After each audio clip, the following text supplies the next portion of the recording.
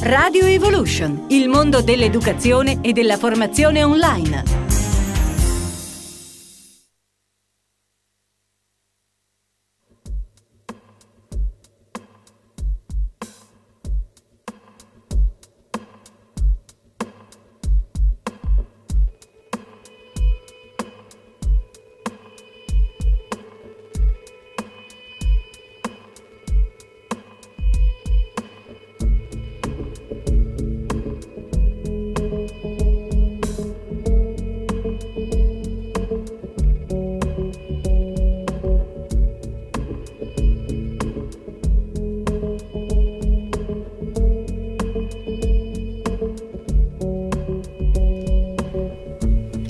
Cari amiche e cari amici di Radio Evolution. Ben ritrovate ben ritrovati nel nostro consueto appuntamento di volersi bene. Ci troviamo in questa domenica 17 maggio del 2020 per ancora una volta viaggiare nella consapevolezza e nella crescita delle conoscenze che ci aiutano ad affrontare con maggiore equilibrio, armonia e serenità il viaggio della vita. Da domani eh, si inizierà eh, una nuova fase di vita. Speriamo davvero che questa nuova fase non ci porti poi a dover fare dei passi indietro. E dunque un po' a tutti noi l'impegno nel rispettare quelle regole che dovrebbero frenare la ripresa del coronavirus. Do il benvenuto a tutte le persone che per la prima volta hanno deciso di mettersi in viaggio in questa carovana, in questa spiaggia dove si può camminare a piedi nudi, dove possiamo per davvero eh, ascoltare ascoltare ciò che di più profondo c'è dentro di noi, perché credo davvero che sia importante questo.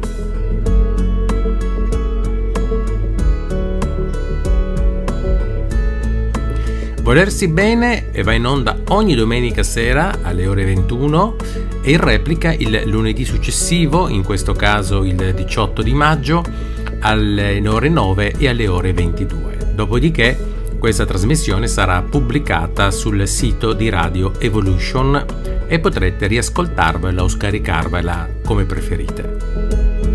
Ricordo anche per chi non lo sapesse che ci sono le app per poter eh, ascoltare Radio Evolution sul vostro smartphone, sul vostro eh, tablet eh, e per cui con la grande comodità di non avere eh, qualcosa di ingombrante per poter seguire questa trasmissione. E naturalmente, come sempre, noi eh, siamo qui perché vogliamo, eh, dicevamo prima, crescere e vogliamo darci la possibilità di diventare delle persone più consapevoli.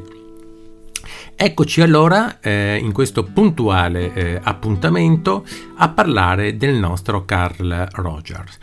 Parlare di questo grande psicologo, uno dei principali fondatori della psicologia umanistica, di cui già, eh, se vi ricordate, abbiamo accennato, ah no, più che accennato, abbiamo un po' spiegato la sua biografia, in due parole a dire il vero, e poi incominciati, abbiamo incominciato a capire no, l'impostazione che lui ha dato. Eh, vorrei in questa seconda puntata dedicata al pensiero di Carl Rogers, perché davvero è un fondamento questo personaggio, presentandovi ulteriormente eh, la visione e quello che ha proposto, che ancora oggi d'altronde viene utilizzato eh, perché è fonte di continua eh, crescita personale.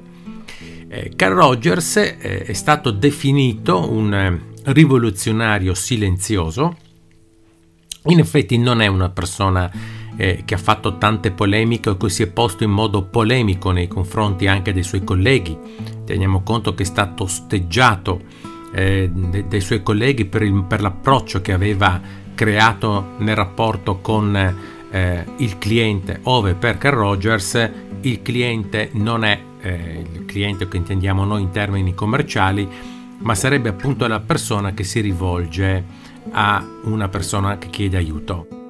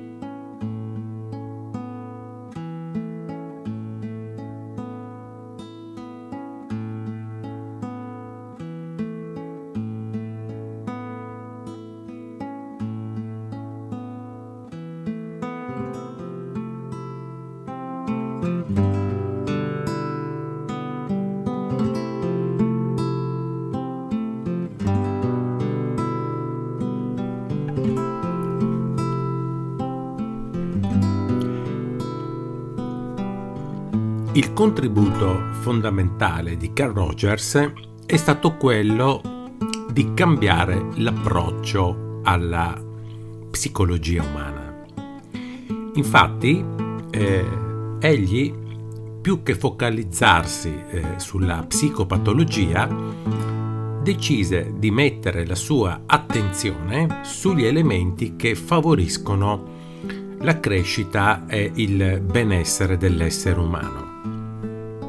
Pensate che fu il primo ad audioregistrare e pubblicare interi colloqui di complete psicoterapie. Questo perché voleva fornire dei dati scientifici verificabili e dunque era anche disposto, cosa che non tutti secondo me sono in grado di fare, di rendersi disponibile a una cosiddetta valutazione pubblica per cui di poter anche in qualche modo eh, sottoporsi all'osservazione e alla critica scientifica. E allora lui, eh, tra virgolette, li trovate alcuni di questi, questi filmati dove lui proprio gestisce la relazione con eh, una persona che va da lui. Rogers allora fu il primo a incoraggiare negli psicoterapeuti l'acquisizione di una nuova consapevolezza, cioè che è possibile costruire un setting, così viene chiamato clinico, dove la realtà dell'altro, cioè della persona che viene, può essere accolta e gestita in termini di crescita. Ecco perché il suo famoso libro la terapia centrata sul cliente, racconta quello che è stato appunto il suo impianto. Comprendere l'altro è per Carl Rogers il fondamento della terapia. Comprendere l'altro aprendosi adesso in modo autentico, con profondo rispetto, comprendere empaticamente come l'altro costruisce, notate bene, il rapporto con se stesso, con gli altri, con il mondo, è il principio base della, psicolo- della psicoterapia centrata sul cliente. vorrei in questa trasmissione ehm, estrarre quali potrebbero essere per noi che siamo in viaggio e che diciamo abbiamo desiderio, altrimenti non ci troveremmo qua tutti quanti insieme ogni domenica sera, stavo dicendo, eh, noi che siamo in viaggio vorrei estrarre alcune proposizioni di tutto questo suo grande impianto, no? in maniera tale che ci possano aiutare a capire meglio come a nostra volta noi possiamo lavorare sia su di noi, perché questi sono spunti davvero per la nostra crescita, ma come potremmo anche lavorare meglio nella relazione con gli altri, per cui come potremmo in qualche modo anche con gli altri porci in maniera diversa. Tutto qua. Per cui io in questa puntata di Volersi Bene, che tra virgolette è già la 324esima, per cui siamo arrivati a quota 324 puntate, e possiamo cercare di vedere e di capire un attimino come affrontare questa cosa. Se riusciremo a fare questo avremo ottimo, un ottimo spunto.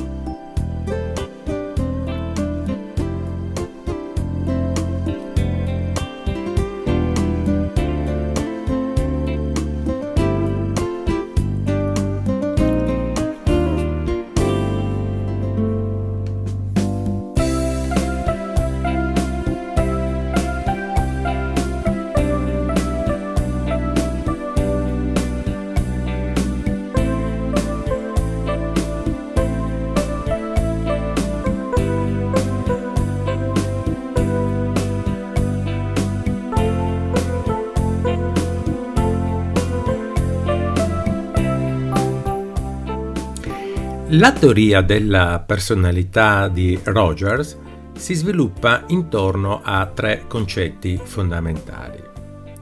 L'organismo, cioè l'individuo, la persona, il campo fenomenico e il sé. Diciamo che su questi tre concetti si costruisce eh, tutta eh, la visione e l'impianto di Carl Rogers. Allora, Vediamo un attimino di entrare dentro questi concetti e di, eh, maniera molto semplice, eh, provare a capire meglio di che cosa si tratta. Allora, innanzitutto una delle, eh, diciamo, eh, proposizioni fondamentali di Carl Rogers è che ogni individuo, per cui ognuno di noi, esiste in un mondo continuamente mutevole di esperienze del quale esso, cioè noi, siamo il centro. Questo termine esperienza che valore ha per Rogers? Qualsiasi cosa che ci accade in un dato momento della nostra esistenza.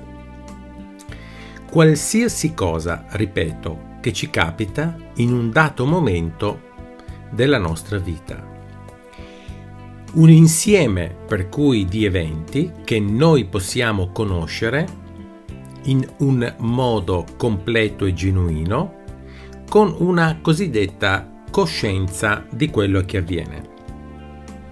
Per cui l'esperienza rappresenta quel campo dove noi sostanzialmente costruiamo il senso del nostro sé psicologico. È chiaro che l'esperienza può essere coscientemente vissuta, e allora qui abbiamo la possibilità di lavorarci, come non essere coscientemente svissuta. E dunque qui entriamo nella difficoltà che spesso, ed è così, noi abbiamo di capire esattamente che cosa ci succede e come stiamo affrontando un determinato evento della vita. Ma per Carl Rogers chi è il miglior esperto del proprio mondo? È esattamente la persona stessa. Per cui, se un terapeuta vuole, se un genitore, perché anche un genitore è un terapeuta, se un insegnante che a modo suo può fare da terapeuta, non chiaramente in termini psicologici, ma tera- terapia vuol dire guarigione, per cui vuol dire porsi in termini positivi e costruttivi nella vita di un altro essere umano, se allora una persona vuole entrare in contatto con il mondo dell'altro, è importante porsi con un'attitudine di ascolto rispettoso. Per cui per Carl Rogers fondamentalmente l'ascolto di che cosa l'altro eh, sta vivendo è fondamentale. Non solo. Un secondo eh, principio di Carl Rogers è che eh, la persona reagisce a ciò che gli succede appena lo riconosce. Questo campo percettivo è per l'individuo la realtà, cioè ognuno di noi, come organismo psichico, reagisce agli stimoli esterni, incontri, eh, lavoro, eh, studio, eh, o alle perturbazioni interne, che sono i nostri stati d'animo, le nostre emozioni, eh, il nostro modo di recepire le cose, in modo ovviamente del tutto eh, soggettivo. Cioè ognuno di noi praticamente ha eh, della realtà una precisa conoscenza, una precisa, eh, come dire, sua eh, interpretazione. Per cui eh, per Carl Rogers cos'è che è importante? Per Carl Rogers è importante capire questo, che lo stimolo esterno o la perturbazione interna non ha un valore in quanto tale, ma in relazione alle esperienze soggettive di chi vive questo. Per cui due persone che ricevono lo stesso stimolo possono percepire due realtà diverse. Faccio un esempio. Due persone che ricevono una critica o che ricevono un complimento possono reagire in maniera completamente diversa. Per cui che cosa vuol dire? Che per Carl Rogers non basta conoscere la natura degli stimoli a cui una persona è sottoposta.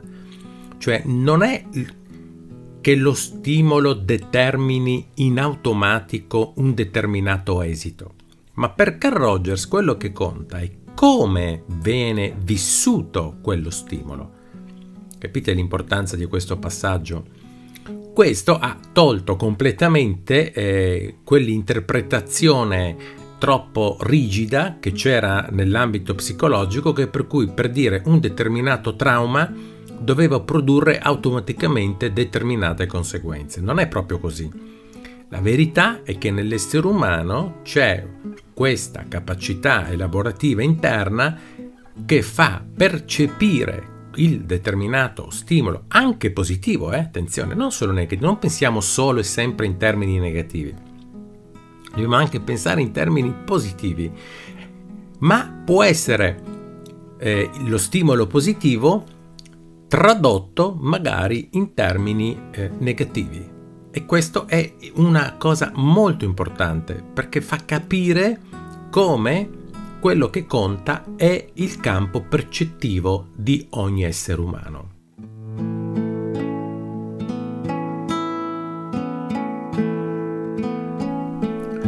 Un altro importante principio di Carl Rogers, che poi naturalmente non è che era solo lui, attenzione, però ricordiamo sempre eh, che ci troviamo ancora eh, nel 1940 qua, queste cose quando vengono cominciate a essere divulgate siamo proprio agli inizi, tant'è che la psicologia umanistica di fatto viene considerata quella dal 1960 in avanti, per cui è qui che si sta costruendo un po' il tutto. E Rogers giustamente ha una visione olistica dell'essere umano, cioè lui rifiuta la psicologia segmentale della persona in favore di un sistema totalizzante organizzato, per cui per Carl Rogers l'essere umano va considerato tutto intero, nel suo insieme, non può essere scisso in parti separate. Vorrei ricordarvi che uno dei più grandi problemi che noi come esseri umani abbiamo è proprio la scissione dell'io. Eh, uno dei grandi, cioè no, dei grandi, uno dei obiettivi di qualsiasi lavoro psicoterapeutico è l'integrazione delle funzioni dell'io. Quando le funzioni dell'io non sono integrate tra di loro, eh, si genera sempre uno stato di disarmonia interiore, perché le funzioni dell'io sono quelle che messe insieme, integrate, sviluppate, messe insieme, creano la stabilità, la solidità dell'essere, eh, sono quelle che danno la sicurezza, sono quelle che danno l'operatività. e per cui le funzioni dell'io, scisse, creano sempre purtroppo dei danni più o meno gravi. Poi dipende ovviamente sempre di quali funzioni stiamo parlando e di come quella persona ha maturato queste funzioni qui. Ma comunque sia, è importante capire questa cosa perché questa cosa è naturalmente uno dei principi base. Spero di non essere troppo complicato nel dire queste cose. L'organismo, se, stiamo sempre ovviamente parlando del suo pensiero, ha la famosa tendenza fondamentale di cui se vi ricordate abbiamo parlato nella puntata precedente, che è quella di attualizzare. Per cui eh, il principio dell'attualizzazione forse è il, uno dei principi più conosciuti e più apprezzati di Carl Rogers. Per cui cosa vuol dire? che eh, l'essere umano si muove verso l'autonomia, si muove verso la maturità, si muove verso la socializzazione. Per cui per Carl Rogers c'è dentro l'uomo questa spinta, una spinta proprio interna che è dentro ognuno di noi, che ci dice va verso il sole, tu sei un girasole, per cui vai verso il sole. Per cui gli ostacoli, il disagio, il dolore, i blocchi, le interferenze in realtà non frenano questa tendenza attualizzante. Questa tendenza attualizzante è proprio dentro di noi, per cui non è che noi la possiamo bloccare eh, o fermare. Perché? Perché fa parte di noi, semplicemente perché fa parte di noi solo per questo.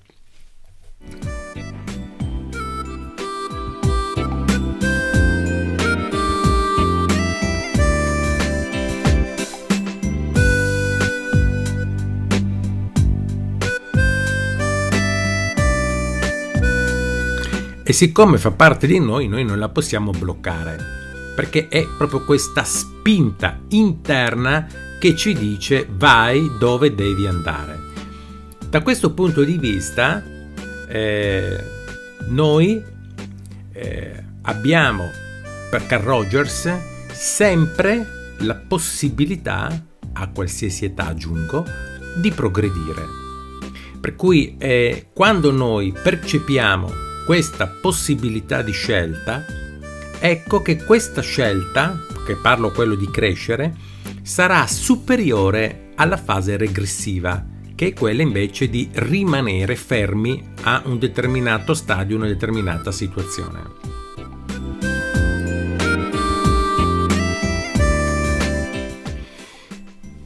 Tutte queste cose eh, che stiamo dicendo sono molto importanti perché ci fanno comprendere come per Carl Rogers eh, la visione che lui ha dell'essere umano è fondamentalmente una visione di fiducia, di ottimismo e di positività.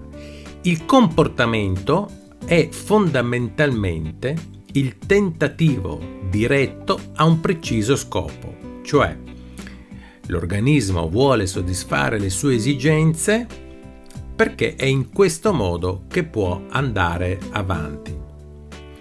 Per cui questa cosa eh, ci fa capire come c'è una forza motivante dentro di noi ed è questa forza motivante che noi dobbiamo in qualche modo assecondare e che il terapeuta dovrebbe sostenere nel percorso di guarigione.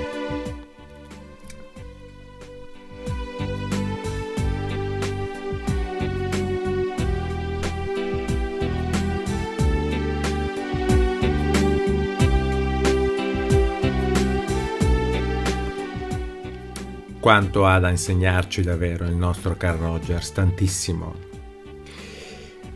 Per cui ehm, le emozioni forti dovute all'eccitamento, come la rabbia, per Carl Rogers ci aiutano nella ricerca di che cosa? Di questo obiettivo di soddisfazione dei nostri bisogni. Per cui L'eccitazione, che è, è tipica eh, di molte fasi della vita, dove noi siamo proprio emozionalmente iper eccitati, è quella che può essere l'entusiasmo, può essere euforia, può essere ehm, un sentirsi pieni di energia. come la rabbia, anche la rabbia, per Carl Rogers, è un modo attraverso cui si rivela no, il tentare di cercare la nostra soddisfazione personale. Per cui per Carl Rogers nessuna emozione è di per sé dannosa, ma solo se l'essere umano rimane ben radicato e cosciente dei suoi veri bisogni. Cioè, per Carl Rogers, quando le emozioni svolgono questo ruolo, che avete capito che è un ruolo fondamentalmente costruttivo, non è un ruolo eh, negativo, ecco che allora queste nostre emozioni ci mettono nelle condizioni di andare verso. Se però l'emozione è scollegata dalla coscienza di che, di che cosa veramente quello stato mi vuole raccontare, cioè perché c'è questa rabbia, perché c'è questa euforia, perché c'è questa eccitazione, cioè che cosa, a che cosa la lego, ecco che allora può in quel caso diventare negativa, perché negativa nel senso che non ci permette di andare nella giusta direzione. E dunque Sempre per Carl Rogers, il miglior punto di partenza per la comprensione del comportamento sta nel sistema di riferimento della persona stessa. Ecco perché lui privilegiava l'autodescrizione e per cui privilegiava fondamentalmente l'ascolto. Perché l'ascolto? Perché nell'ascolto la persona si rivela, la persona si racconta, la persona ha la possibilità, mentre si racconta, di chiarirsi a se stessa, per cui ha addirittura la possibilità, mentre, ripeto, si racconta, di capire che cosa gli sta succedendo dentro di sé. Ma, e qui entriamo in uno dei punti che davvero poi se ci pensate è, è, è di una realtà evidente, che il terapeuta dovrebbe essere sinceramente interessato a comprendere che cosa la persona gli porta sinceramente, non formalmente, non tecnicamente. Ed ecco qui l'importanza del coinvolgimento non emotivo, ma coinvolgimento umano, no? Perché questo permette di stabilire il clima di calore e di fiducia attraverso cui l'altro è più facilitato ad aprirsi alla comunicazione sempre più profonda e rivelatrice. E come entrare sempre di più in profondità, cioè più tra eh, due persone si instaura questo tipo di relazione, più la persona è portata a rivelarsi, a manifestarsi e, e, e più la persona si rivela, si manifesta, più eh, fa le proprie pulizie di Pasqua, per cui mette in ordine dentro di sé e più ovviamente il terapeuta riesce a comprendere che cosa realmente c'è all'interno di quella stanza. E allora tutto, come vedete, incomincia a girare in una determinata direzione. Ecco che allora è importante capire che il pensiero di Rogers ha per davvero cambiato il modo di approcciarsi della terapia, no? E un altro principio, eh, diciamo, fondamentale è che eh, la maggior parte no, dei comportamenti umani sono, per Carl Rogers, determinati da uh, esperienze o necessità che non sono mai stati simbolizzati. Questa è una cosa molto interessante di Carl Rogers. Cioè, che cosa vuol dire? Ah, vuol dire che mm, non c'è dentro la persona la capacità di dare un nome a quello che vive. Qui per simboli- simbolizzare vuol dire che cosa? Che io riesco a capire che se mi vado sempre a trovare in certe situazioni è perché dentro di me c'è uno schema, c'è un condizionamento, c'è un imprinting che mi porta sempre a trovarmi là a trovarmi sempre in quel determinato, eh, in una relazione patologica, in una relazione disfunzionale, eh, in una situazione di inferiorità. Perché è importante questo?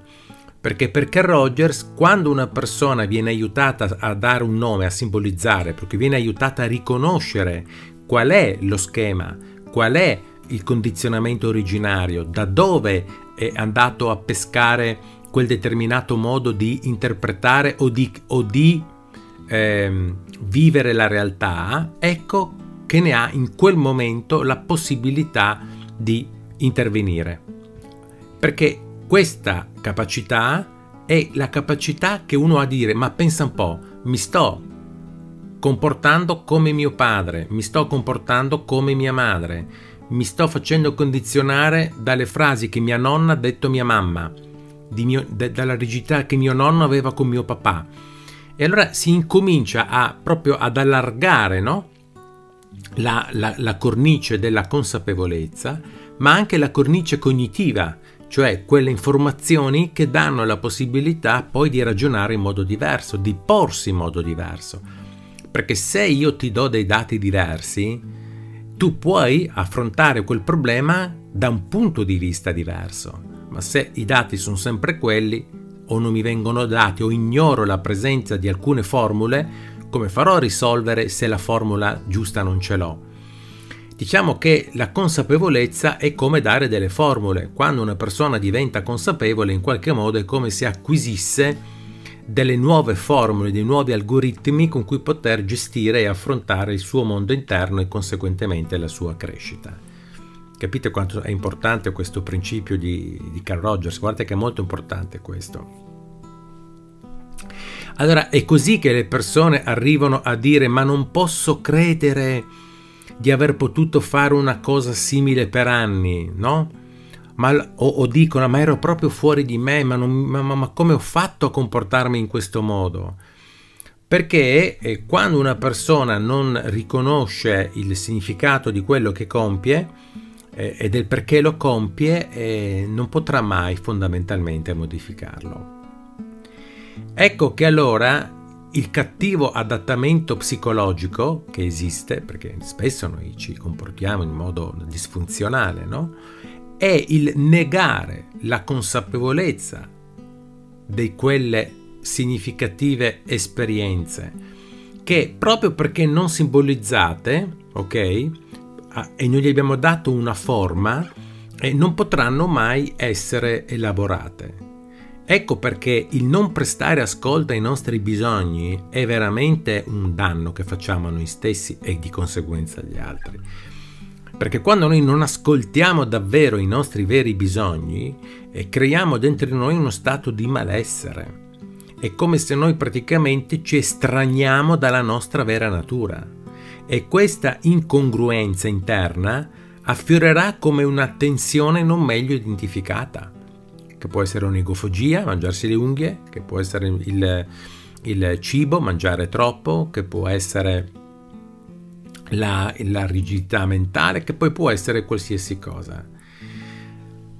Allora l'adattamento, la capacità che noi abbiamo di andare avanti, di crescere, si forma, si misura nel momento in cui noi siamo capaci fondamentalmente mi pare che questo concetto sia abbastanza chiaro, di aver assimilato che relazione c'è tra il nostro comportamento e il nostro vissuto esperienziale, cioè di creare dentro di noi quella comprensione interna che ci dà poi la possibilità di muoverci in modo completamente diverso. Questo eh, è diciamo un po' il, il, il punto principale no? di tutte le terapie, perché poi in realtà questa cosa che Carl Rogers ha formulato eh, non è solo nella uh, visione di Carl Rogers, ma ad esempio anche nella Gestalt, c'è questa visione di Fritz Spear, no? o anche in Virginia Satir, insomma, questo poi rientrerà in tantissimi altri autori. Da questo punto di vista, allora, è importantissimo eh, che la persona che va in terapia possa sentirsi psicologicamente sicura, cioè di potersi esprimere all'interno di uno spazio dove tutto quello che verrà espresso e comunicato non verrà criticato, non verrà deriso, non verrà incompreso, non verrà giudicato, perché il sentirsi sicuri nell'esprimere se stessi, il, il, il, che, che, poi nasce, la sicurezza in questo caso nasce proprio dalla fiducia che si instaura, no? per cui è la conseguenza in questo caso la sicurezza della fiducia. Più mi fido di una persona, più mi sento sicuro di una persona. Più non mi fido di una persona, più ovviamente mi sento insicuro. È fondamentale perché questo vuol dire questo, questo campo di sicurezza vuol dire eh, andare a ricomporre la dicotomia interna, cioè vuol dire andare a, per usare la metafora dell'orchestra, andare a rimettere i vari orchestrali in accordo e in armonia tra di loro, per cui vuol dire ridare questa grande possibilità è lì poi che nasce la pace, la serenità, la tranquillità. È lì che nasce proprio questo senso meraviglioso di star bene dentro di sé. Ed è per quello che quando una persona incomincia paradossalmente a ehm, accettarsi, ecco che può cambiare. Questa frase di Carl Rogers che diceva esattamente, se non sbaglio, esiste un curioso paradosso. Quando mi accetto così come sono, allora posso cambiare, e questo vale anche per gli altri, è proprio legato al concetto che vi stavo dicendo prima. Il risultato di una vera accettazione e di un'assimilazione delle esperienze che sono state negate o rimosse è proprio rappresentato dal fatto che ognuno di noi può diventare più comprensivo, ma attenzione, non solo con se stesso, ma anche con il prossimo. Perché se io riesco a comprendere meglio la storia di mio padre o di mia madre, il giudizio viene a meno, perché dalla comprensione nasce ecco perché. Allora riesco a dare una, un significato positivo a un'esperienza negativa. Cioè mi rendo conto che quell'azione negativa in sé che mi ha fatto soffrire se la vado a mettere all'interno di questa consapevolezza, eh, assume tutto un altro significato. Non si nega la ferita, ma si dà un altro significato al perché l'altro mi ha ferito.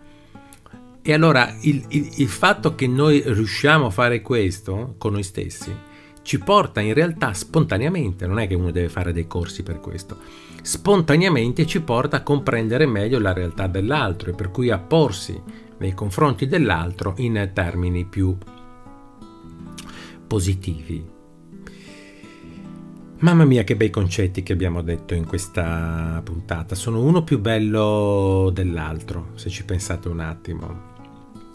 Ecco che allora, mentre noi facciamo un cammino di crescita e mentre noi eh, percepiamo e accettiamo la struttura di quello che c'è dentro di noi, ecco che allora incominciamo a eh, rivedere e per cui a rimettere ordine dentro di noi.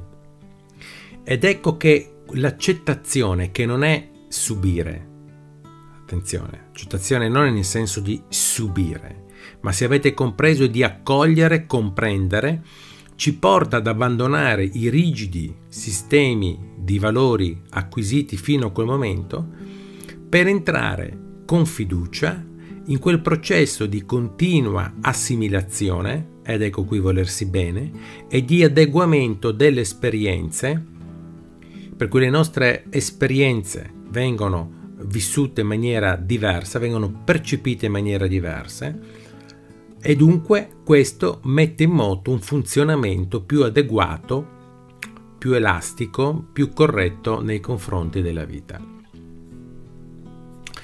Abbiamo parlato fondamentalmente in questa puntata degli assunti, alcuni, non tutti, ma i principali assunti di quali sono per Carl Rogers i fondamenti della terapia centrata sul cliente.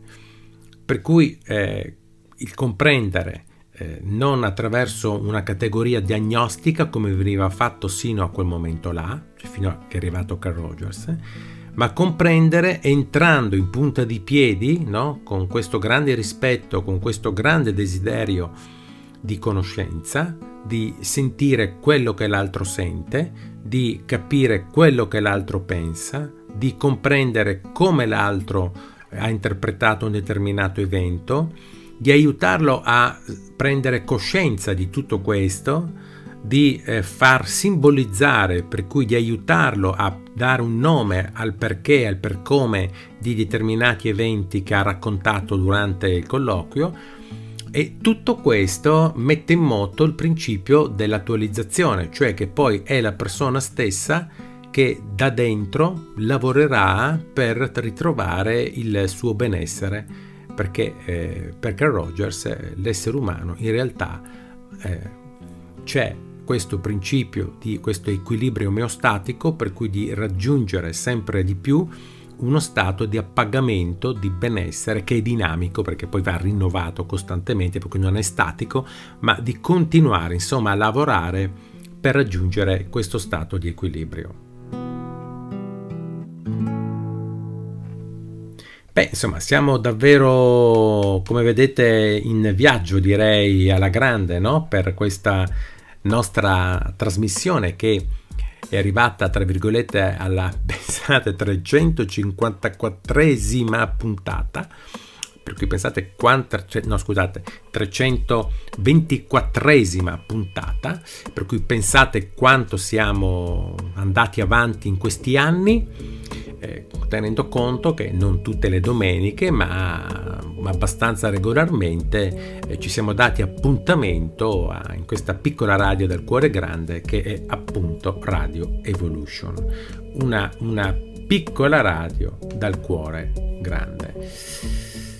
Vorrei però eh, eh, salutarvi in questa, in questa puntata con eh, un eh, personaggio che davvero ci ha, come dire, ci ha insegnato tanto. Voglio parlare di Ezio Bosso, che come sapete ieri è morto all'età di soli 48 anni, per cui davvero eh, giovanissimo, eh, ci ha lasciato prestissimo. Ecco, vorrei eh, farvi eh, sentire le sue parole le sue parole. Il mondo ha bisogno della musica, ha bisogno di musica. No, ma, ma c'è perché la musica siamo noi. La, la musica è...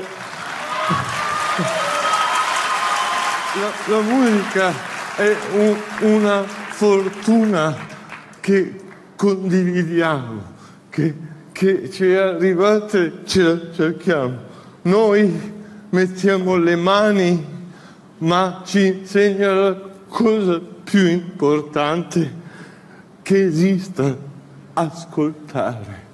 La, la, la musica è una vera magia. Infatti sapete che non a caso i direttori hanno la bacchetta come ma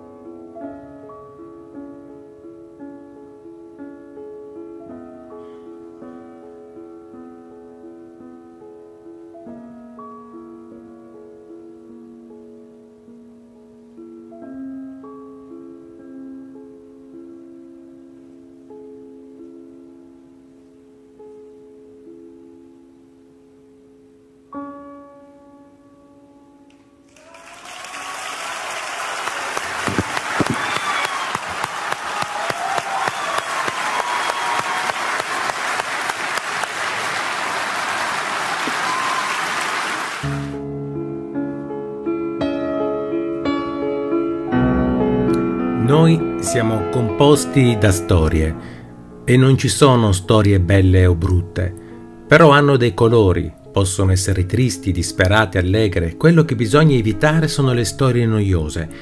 Il mio disagio è stato per me un'occasione per non annoiarmi mai. Beh, davvero credo che con queste parole noi possiamo chiudere eh, questa nostra trasmissione. Ci tenevo a ricordare questo grande artista, ma soprattutto questo grande uomo.